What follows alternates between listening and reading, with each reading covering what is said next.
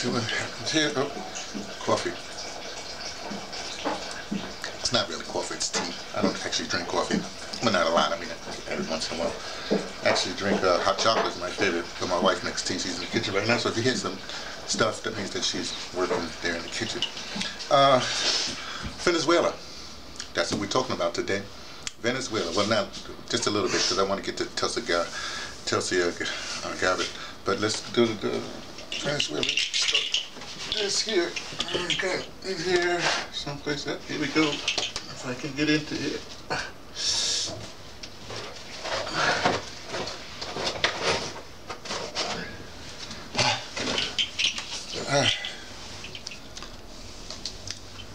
Venezuela, Bolivarian people and the struggle of the Fourth World War. The Fourth World War. Hmm. This was a documentary uh, done by Venezuelan um, um, activist people in Venezuela. This is many years ago. She went to five, six years ago. Uh, you know, our guy Hugo Chavez was still in the um, uh, was still in, in presidency then before you know he got, you know he, he passed.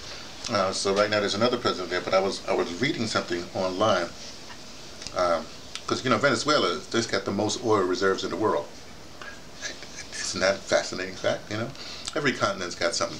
You know, anyway, they got a lot of other stuff, gold, diamonds, they get stuff. Uh, but here's a, a, a statement um, sent out by the African Union. Deputy Chairperson of the African Union, uh, Thomas Kwesi uh, Quatley, uh, Quat, Quatley, um, Quat, um, Q-U-A-R-T-E-Y, Quati, has sent a message of solidarity with the people of Venezuela and the support of uh, for constitutional president Nicolas Maduro. The ministry wrote on a Twitter on Wednesday. This this is like maybe a week ago or, or something like that. So last Wednesday, maybe even before then. Um, there it is. Uh, lately, United States, or not United States, uh, force of the United States, led by the, the President of the United States, um, uh, led by the President of the United States, but um, uh, joined by, uh, you know, those those forces that like to take oil and resources from other continents, uh, along with the, the, the, entire establishment or the what they call the corporate news media.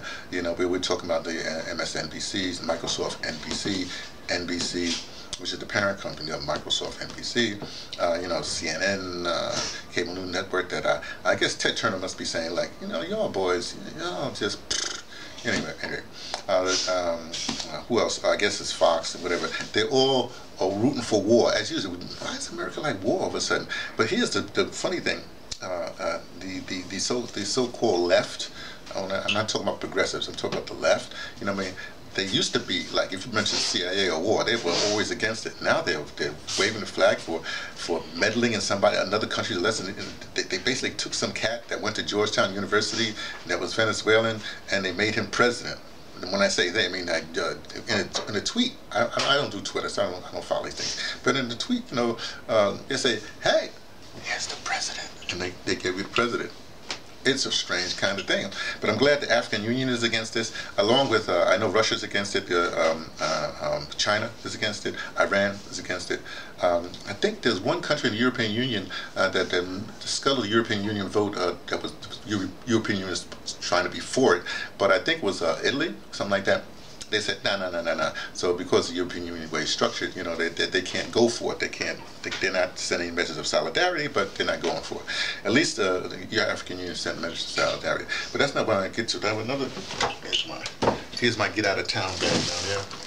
Supposedly has certain documents that I need if something happens I got to run real quick. But I want to show you this. Uh, there is a document in here uh, that, uh, anyway, uh, I'm a veteran. See, here's my latest VA card. I got to go to the States pretty soon and see if they have to update these VA cards. See, I'm a veteran. I'm a veteran. This is uh, from the, uh, well, Veterans Administration because I have a disability. I can't get into it right now, but it's a disability. So I say I'm a veteran. Now this is this is interesting because one time I was at BAI, WBAI Radio New York. We had we always have these meetings. One time we had a group of people there, and uh, they were saying something. I said, I want to speak as a, as a, as a minority. You know, because everybody look at me, oh, you're black, you're already speaking as a minority. I said, no, I'm a veteran. I'm only one of two people in this room that's a veteran. At the time, there was another cat served in Vietnam. And uh, then I said something like that. So you never can tell who, who somebody is unless they say who they are. You know, if I don't, if I, if at this particular moment I'm, I'm identifying as a veteran, but here's my, as a veteran, here's what I'm saying, a veteran of, of, of the of, uh, Vietnam era. Here's what I'm saying. There's a thing in, uh, came about World War One, I, I believe, it's called uh, the, the trench. You know, you was in the trench, sometimes they call it a foxhole now, but it's, it's, it's a trench. You know, the trench, you have people on this line, you have some land, and then you have people on the other side, and they're sticking their head up, and, you know, bombs are falling, all the rest of that stuff. So there was a saying that came up, who would you want to be in the trench with? Who would you want to be in a foxhole with? Now you have to choose. Do you want to be in a foxhole with the likes of, uh, say, um, I don't know. Let's let's just deal with the Democratic people that, that are announced for the Democratic presidency. You know, Tulsi, uh, Tulsi Gabbard. I'm talking about the major ones. Uh, uh, Kamala Harris. Is, was she calling her uh, Camilla? Kamala Harris. Um, uh, Cory Booker just said something. Uh, Elizabeth Warren. Um, uh, there's some other people. I guess. Let's just do those because I had a thing on my phone. They had a, they had a, a thing with the that I saw and they had a poll. They was doing a poll, right? And this poll basically was saying um, something like, uh, uh, "Who who who you who?" It's an early poll because you know nobody's people did not not put up. Some people are putting up policy positions. They're talking policy, like Tulsi Gabbard is talking policy, but a lot of people are not talking policy at all.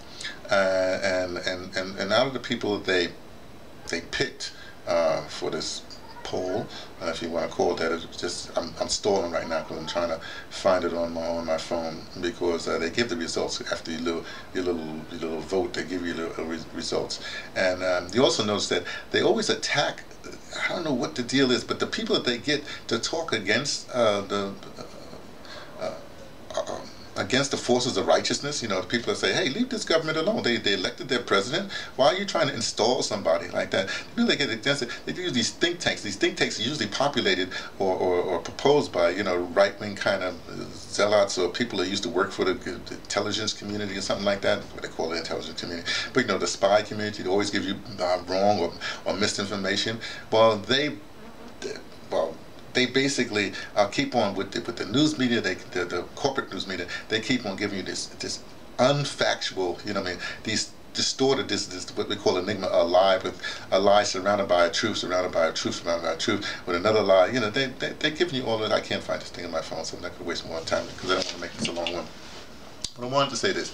You have to see who you're going to be in foxhole with. You're going to foxhole with them or you're going to be in foxhole with, say, a real veteran, somebody who served in, in, in, in the military. Out of all these people that, that, that's running, you know, be it your, your Kamala Harris or Cory Bookers or your Elizabeth Warren or whoever else is out there, uh, whoever else is declared. Uh, um, she's the only one that has not only is a veteran, but is speaking and saying that we don't need these wars. Stop doing these wars. Stop doing these interventionist wars. And the most of the people who they want war, they, they've never been in war. They've never been in the service. They never took an oath to, to, to, to, defend the country. You know, if, well, they took an oath as a congressperson, but when you take an oath as a soldier, that's a kind of a different kind of oath. You know what I'm saying? It's a different kind of oath. So you may not be serious as a congressperson, but when you're going to pick up a rifle or, or, or well, I, like Tulsi Gabbard, I was a medic, so, you know, we, well, we had rifles and stuff like that, guns up and I know actually Air Force we never we never I never had any training after after basic training. I never had any guns after that. Anyway, the point is, um, if you ask a veteran something that's different than you ask these people, these chicken hawks or these people never served, that's something else. Okay, so.